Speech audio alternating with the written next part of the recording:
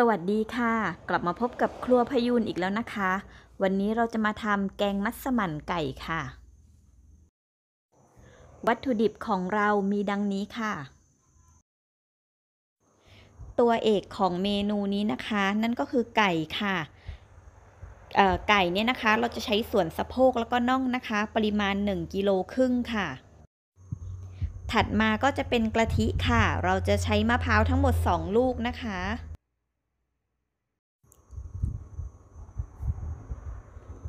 แล้วก็จะมีเครื่องแกงมัสมั่นค่ะ อันนี้เราสั่งตรงมาจากยะลาเลยนะคะ แล้วก็มีมันฝรั่งค่ะหั่นเป็นชิ้นนะคะ แล้วก็มีหอมหัวใหญ่ค่ะ แล้วก็จะมีถั่วลิสงคั่วนะคะ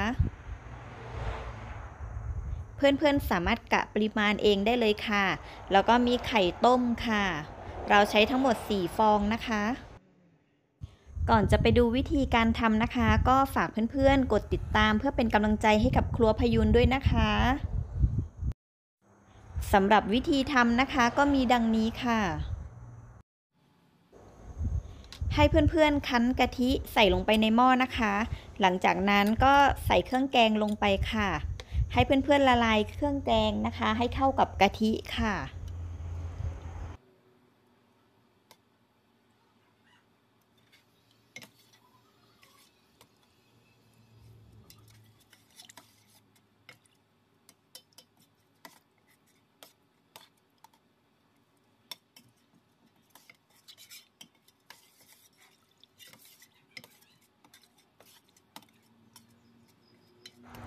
เมื่อละลายเข้ากันดีแล้วนะคะ ก็ให้เพื่อนๆนำขึ้นตั้งไฟได้เลยค่ะ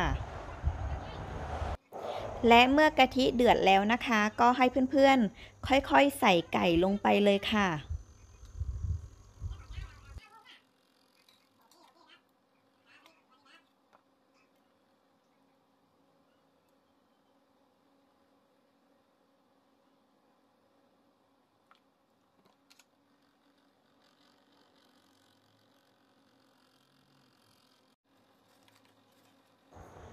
หลังจากนั้นก็จะปรุงรสด้วยเกลือนะคะ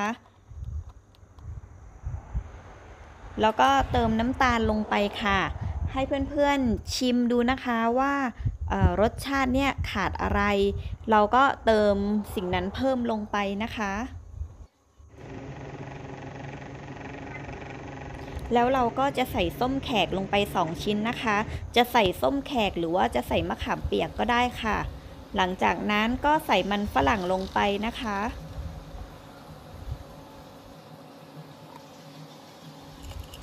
แล้วก็ตามด้วยถั่วลิสงคั่วค่ะ ตามด้วยไข่ต้มนะคะ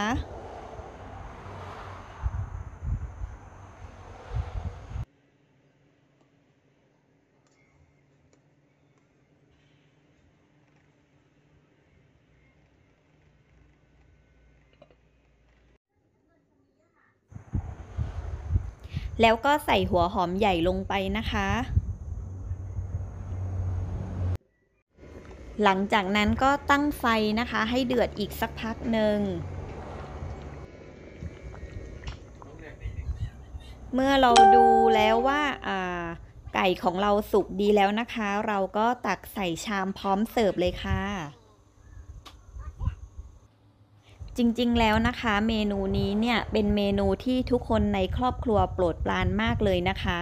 ซึ่งทุกคนเนี่ยก็จะขอเมนูนี้มาบ่อยมาก แต่เราก็ไม่ได้ทำบ่อยนะคะ นานๆก็จัดให้สักครั้งหนึ่งนะคะ โดยเฉพาะเด็กๆ เนี่ยจะชอบมากเลยค่ะเมนูนี้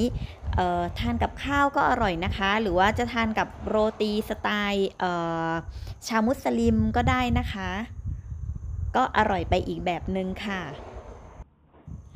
ส่วนเครื่องแกงมัสมั่นเนี่ยนะคะ พอดีว่าเพื่อนอะเดินทางมาจากยะลานะคะ มาเที่ยวที่สุราษฎร์เราก็เลยเออฝากเพื่อนซื้อมาเลยค่ะ ซึ่งปกติเนี่ยเวลาเรากลับบ้านที่ยะลานะคะ เราก็จะแวะซื้อเครื่องแกงมัสมั่นมาด้วยทุกครั้งเลยนะคะ เพราะว่าเจ้านี้เป็นเจ้าที่อร่อยมากเลยค่ะออถึงเครื่องมากเลยค่ะหอมเครื่องเทศมากด้วยค่ะ เพื่อนๆลองเอาเมนูมัสมั่นไก่ไปลองทำทานกันดูนะคะสำหรับวันนี้นะคะ ครัวพยูนก็ขอลาไปก่อน ไว้เจอกันใหม่คลิปหน้านะคะ สวัสดีค่ะ บ๊ายบายค่ะเพื่อนๆ